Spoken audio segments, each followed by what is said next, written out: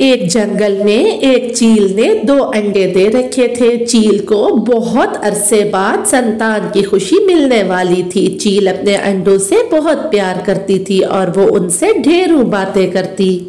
बारिश का मौसम लग रहा है। लगता है अभी बारिश हो जाएगी। मैं ऐसा करती हूँ कि अपने लिए भोजन की खोज कर आती हूँ।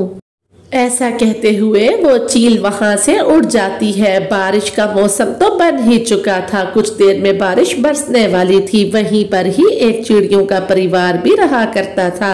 चिड़िया ने दो अंडे दे रखे थे।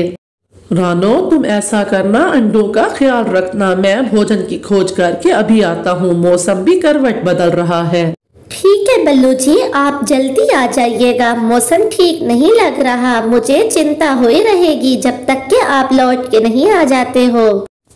बस फिर क्या था? चिड़िया अपने अंडों के पास रक्षा के लिए बैठ जाती है और बल्लू चिड़ा भोजन की खोज के लिए निकल जाता है। मेरे प्यारे अंडे मैं दुआ करूँगी कि एक अंडे में से मेरा बेटा और एक में से बेटी हो। मैं उनके नाम भी सोच लेती हूँ। जंगल में तूफानी बारिश शुरू हो जाती है। चील का घोंसला बारिश और हवा के कारण गिर जाता है और उसके दोनों अंडे भी गिर के टूट जाते हैं। जब चील वापस घर लौटती है तो ये देख के बहुत रोती है। चील को तो बहुत दिनों बाद संतान की खुशी मिलने वाली थी। उसने तो बहुत इलाज करवाया था अपने बच्चों के लिए। आखिर मुझसे कौन सा ऐसा गुनाह हो गया है कि जिसकी सजा मुझे ये मिली है? दूसरी तरफ़ जैसे तैसे करके पल्लू भी भोजन ला के वापस आ जाता है। अरे रानो आज तो बारिश के कारण उड़ा ही नहीं जा रहा था। बहुत मुश्किल से भोजन लेके आया हूँ। हाँ बल्लू जी मैं भी बहुत चिंतित हो रही थी। आपके लिए बल्लू जी अगर बारिश ज़्यादा होती रही तो हमारे अंडे तो ख़राब हो जाएँगे। इसी तरह से रात हो जाती है। वो दोनों यही बातें ही करते रहते हैं और वहाँ चील रोते हुए रात बिता देती है। वो यही सोचती रहती है कि इतना इंतज़ार करने के बाद अगर मुझे अंडे मिले भी तो वो भी ना रहे। और फिर सुबह हो जाती है, चील वहाँ से उड़ जाती है, रास्ते में उसे एक खाली घोंसला नज़र आता है, वो वहाँ आके बैठ जाती है। अरे, ये तो खाली घोंसला है, लगता है कोई पक्षी बना के खुद यहाँ से चला गया है। चलो, मैं यहीं पे ही रह लूँगी, बाकी की ज़िंदगी मेरी यहाँ आराम से गुजर जाएगी। बच्चे तो मेरे नसीब में थे ही नहीं। अभी वो यही बातें ही कर रही होती है कि वहाँ एक चिड़िया और एक तोता आके बैठ जाते हैं। चील, दीदी, ये तो मेरा घोंसला है। मैंने अब अपना घर खरीद लिया है। ये घोंसला मेरा ही है। मुझे इसको बेचना है। अगर आप ये लेना चाहती हैं तो मुझे कुछ पैसे दे दें। अच्छा मैं इस घोंसले को खाली देख के इसमें आ गई थी। मेरे पास कुछ पैसे हैं, तुम ऐसा करो, पैसे ले लो। कल ही मेरे दो अंडे और घोंसला हवा और बारिश के कारण गिर के टूट गए हैं।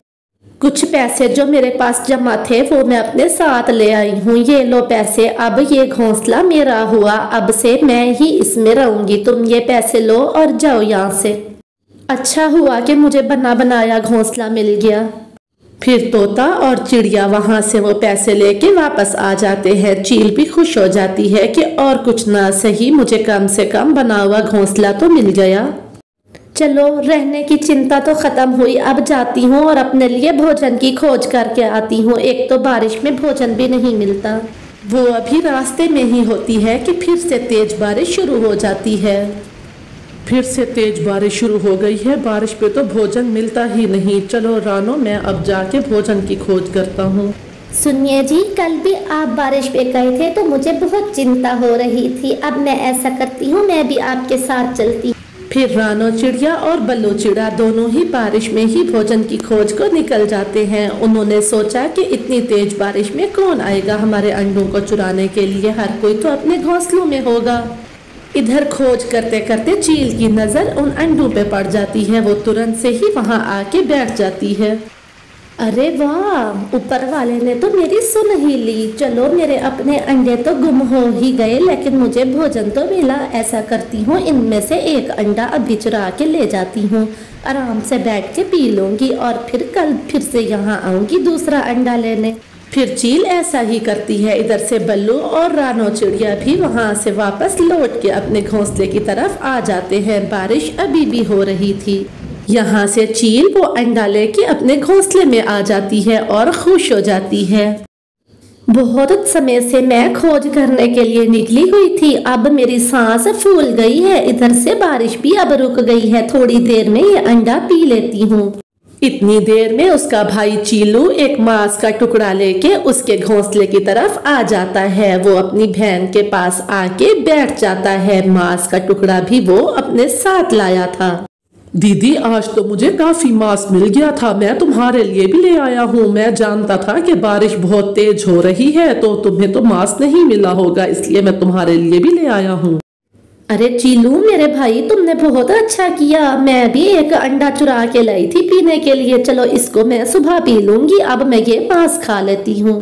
चीलू वहाँ से उड़ जाता है। मांस का टुकड़ा वो अपनी बहन को दे के वहाँ से चला जाता है। इधर जब बल्लू और रानो वापस अपने घोंसले में आते हैं तो एक अंडा देख के बहुत रोते हैं। अरे, हमारा एक अंडा कहाँ गया? हमारे दो अंडों में से एक अंडा बचा है। हाँ हाँ मेरे दो बच्चे होने थे। अब एक ही अंडा पड़ा है। किसने चोरी कर लिया मेरा एक अंडा? हाँ हाँ इतनी तेज बारिश में कौन था जो मेरा अंडा चुरा के ले गया? बल्लू जी, मैं कैसे करूँगी? मैं खुद को माफ़ नहीं कर पाऊँगी, बल्लू जी। दूसरी तरफ़ चील ने भी मांस खा के अपना पेट भर लिया था। चलो जी, मांस खा के मेरा पेट तो अच्छे से भर गया है। अब मैं ऐसा करती हूँ, इस अंडे को यहीं पर रहने देती हूँ और खुद सो जाती हूँ। बल्लू जी तो कितनी देर से अंडे की खोज करने के लिए गए हुए हैं? अब तो शाम हो गई है और रात होने वाली है। पता नहीं बल्लू जी को वो अंडा मिलेगा भी कि नहीं मिलेगा। काश के मैं ना जाती। इसी तरह से अपने अंडे को रोते रोते रात हो जाती है, चिड़िया सो जाती है और फिर दूसरे दिन उसको यकीन ही नहीं होता क्योंकि अंडे में से एक प्यारा सा लड़का चिड़ा निकला था। अरे मेरे प्यारे बेटे, तुम्हारे बाबा आते ही होंगे। कुछ देर में बल्लू चिड़ा भी वहाँ आ जाता है और वो छोटे से अपने बच्चे जिसका नाम वो कुकू चिड़ा रखते हैं, देख के बहुत खुश होते हैं। अगला पार्ट देखने के लिए हमारे चैनल को सब्सक्राइब करें, वीडियो को लाइक करें। Bye bye